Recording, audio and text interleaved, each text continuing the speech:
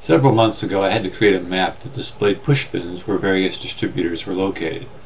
When the user placed a cursor over a push pin, a tooltip was supposed to show up with a shortened form of the contact information. My first thought was, hey, great, I can use that new image map control they put in ASP.NET 2.0.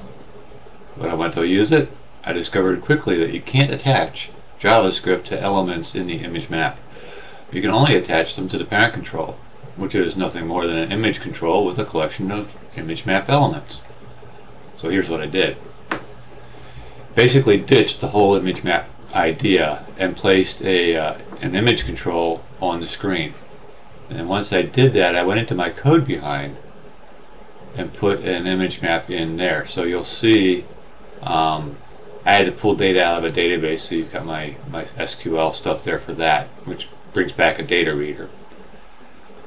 And then I came in here and created my map element and associated it with um, my image control on my screen. So I'm just writing this all by hand.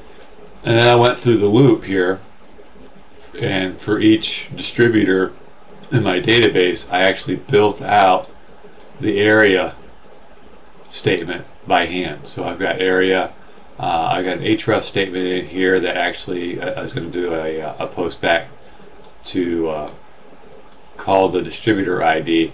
Um, you notice that all I did was question mark distributor ID. Um, a lot of people don't know this, but you don't actually have to have ID equals blah blah blah blah if you only have uh, one element in your query string. You can just go after that query string directly, which is what I'm doing there. Then uh, the shape information, the coordinate information.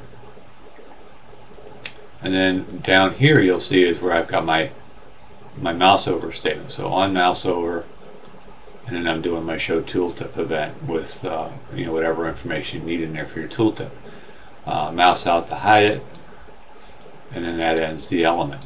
so I'm just going through and for each one of those, uh, basically doing that type of information and then come down here and close out the map element and uh, that's all going in a label element uh, what I put on the, uh, the screen here so let's go back over here and you'll see I've got my my literal right there um, where I'm actually stuffing the final JavaScript um, that's really about the only way that you can do it. Uh, is, is just build out your maps by hand. Uh, I tried several other ways along the way and uh, this one is actually the one that works out the best.